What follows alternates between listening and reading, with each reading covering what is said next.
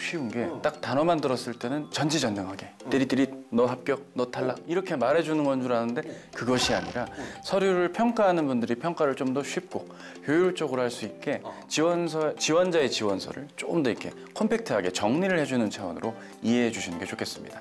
해당 지원자가 이러한 경험을 통해 그 지원자의 강점이 무엇이고 해당 문항에서 요구하고자 하는 주제문이 무엇이고 이걸 통해 우리 회사의 어떤 직렬에 좀 더 적합한지 아닌지 등을 좀 더 쉽고 요- 요약해서 좀 압축해서 정리해 준다는 게이 AI가 서류를 평가한다는 점의 특징이라고 할 수 있겠죠.